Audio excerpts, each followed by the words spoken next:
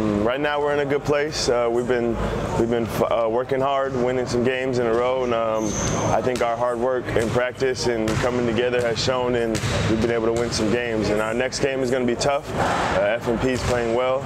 Um, obviously, they're in the top of the standings, and uh, for a reason. So we got. It's going to be a tough game, just like every game. So we have to uh, come ready to play, uh, and play a good game, and hopefully come out with the win.